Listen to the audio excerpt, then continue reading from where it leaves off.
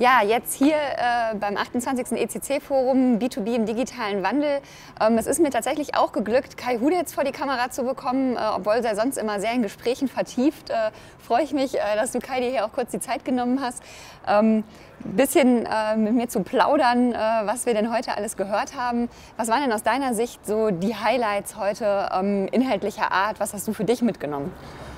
Oh ja, ich habe äh, extrem viele auch äh, wieder mitgenommen, an tolle Impulse auch bekommen. Wir haben einerseits gesehen, ähm, dass wir noch viele Hausarbeiten machen müssen, dass viele mhm. Unternehmen noch nicht so weit sind, wie sie eigentlich sein sollten. Das hat uns der Marc Staher auch ganz äh, eindringlich dann, dann auch ins äh, Gedächtnis gerufen. Auf der anderen Seite haben wir natürlich auch tolle Beispiele gesehen. Ich denke jetzt beispielsweise an die beiden letzten, äh, hier an die Hikes-Schuhe, ähm, ganzer Dele XL, ein super Beispiel aus, aus äh, Holland mit jetzt 90 Prozent Online-Anteil. Und das zeigt, äh, wie viel Dynamik da jetzt auch in der Branche drin ist. Ja. 28. Äh, ECC-Forum, ähm, jetzt auch im Herbst wieder zum äh, Thema B2B. Du blickst ja jetzt schon auf einige zurück. Äh, war schon auch wieder eine besondere Veranstaltung heute, oder? Ja, absolut eine besondere Veranstaltung. Ähm, das Thema B2B ähm, ist ja relativ spät hier auch im E-Commerce dann auch entdeckt worden. Mhm. Wir haben hunderte von Veranstaltungen, möchte ich sagen, die sich eigentlich mit dem B2C-Segment beschäftigen. Aber wir sehen, der B2B-Bereich ist viel, viel komplexer, viel schwieriger. Und deswegen freue ich mich über jede Veranstaltung, die wir dann auch diesem Schwerpunkt hier auch widmen, äh, weil wir hier wirklich den, den äh, Leuten, glaube ich, Insights liefern können, die sie woanders nicht kriegen. Super. Ähm Vielleicht äh, zum Schluss äh, jetzt auch mit den ganzen Insights von heute ähm, nochmal so Revue passieren lassen. Was ist denn so dein persönlicher Ausblick auf 2016? Also auch im B2B-Markt, der ist ja sehr dynamisch, da bewegt sich ganz viel.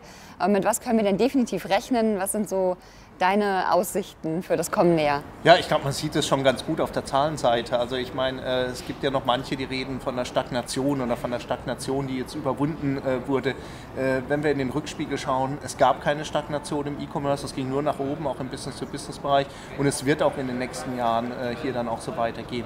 Wir sehen noch nicht den Eisberg E-Commerce im B2B, sondern wir sehen vielleicht mehr als die Spitze, aber wir sehen äh, hier auch wirklich äh, noch eine ganze Menge nicht, was unter Wasser liegt. Ich glaube, die Trends, die wir, die wir jetzt schon erkennen können, werden sich ganz klar fortschreiben mit einer großen Dynamik. Mobile First ist natürlich so ein, so ein Thema, was, was auch im Business-to-Business-Bereich selbstverständlich ist diese emotionale Produktansprache, wie wir sie heute hier auch gesehen haben, das wird sich in viel mehr Bereiche dann noch weiter vorziehen.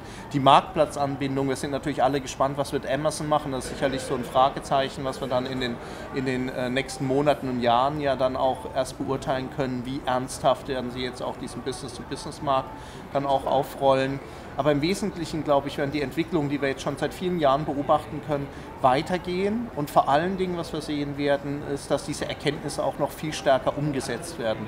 In vielen Fällen haben wir eigentlich kein so ein großes Erkenntnisdefizit, wir haben ein Umsetzungsdefizit. Und ich glaube, da, da geht es jetzt darum, wirklich Gas zu geben. Und das werden wir auch sehen. Und wenn wir helfen können, umso besser.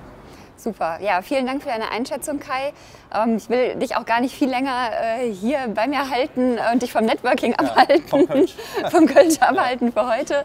Ähm, ja, allen, die nicht dabei sein konnten, äh, das äh, war unsere letzte Aufzeichnung für heute. Äh, kann ich jetzt schon auch gerne die Termine fürs nächste Jahr äh, ans Herz legen. Die ECC-Foren finden im April und im September statt. Äh, einfach mal auf www.eccforum.de vorbeischauen, Termine vormerken und ja, wir freuen uns, dass Sie aus den Interviews was mitgenommen haben und freuen uns auch, Sie nächstes Mal vielleicht persönlich begrüßen zu dürfen.